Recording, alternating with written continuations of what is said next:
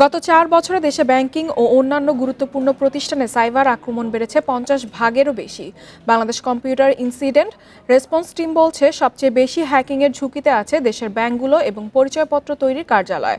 Cyber hacking প্রতিরোধে সতর্কতার পাশাপাশি সব খাত নিয়ে সমন্বিত পরিকল্পনার তাগিদ বিশ্লেষকদের।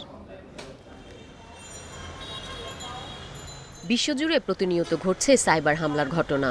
বাদ নেই বাংলাদেশও। দু হাজার ষোলো সালে কেন্দ্রীয় ব্যাংকে সিস্টেম হ্যাকিং করে চুরি হয় আট কোটি দশ লাখ ডলার। কয়েকটি ব্যাংকের এটিএম বুথ থেকেও কার্ড জালিয়াতি এবং হ্যাকিংয়ের মাধ্যমে অর্থ উত্তোলন করা হয়।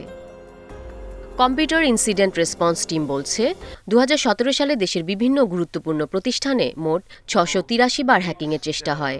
দু হাজার বিশ সালে তা বেড়ে দাঁড়ায় এক হাজার চুয়ান্নতে। হ্যাকারদের সবচেয়ে বড় টার্গেট ছিল দেশের ব্যাংকগুলো।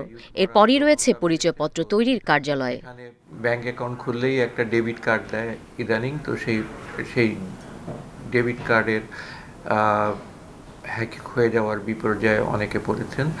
আইডেন্টিটি থেফটটা খুব বেশি না কিন্তু এটা পরিমাণটা যথেষ্ট। বিদেশের ব্যাংকগুলো সাইবার নিরাপত্তায় একটা বড় অঙ্কের টাকা খরচ করলেও দেশে এই খাতে ব্যয় অনেক কম। তবে স্বল্প সক্ষমতা নিয়েই কর্মীদের সতর্কতায় সাইবার হ্যাকিং প্রতিরোধ করা হচ্ছে জানালেন ব্যাংকাররা। ফাইভ পার্সেন্ট যদি আপনার হওয়ার চান্স থাকে সেটা কিন্তু কম না যে কোনো সময় হয়েও যেতে পারে। যে আমাদের যা আছে আশা করছি আমরা এটা নিয়ে আমরা we can we can basically protect our self হ্যাকাররা প্রতিনিয়তই সাইবার হামলার পদ্ধতি পরিবর্তন করছে।